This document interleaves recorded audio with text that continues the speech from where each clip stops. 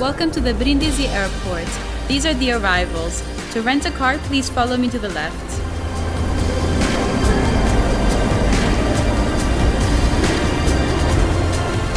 My name is Paola and I will guide you to the Villa of San Felice.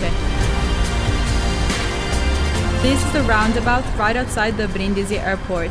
You have to follow the banner Autostrade, then at the next roundabout, go towards Taranto, and after that, exit at Latiano Ovest.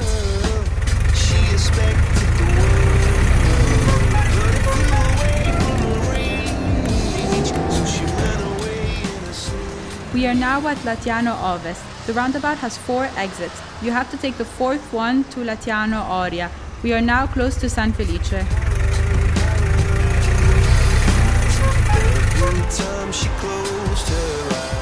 At the Concadora restaurant, turn to the left.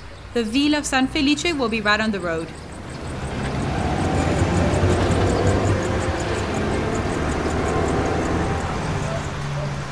At 100 meters to your left, you'll find the entrance of the Azienda. Here we are, the villa's at the end of the road.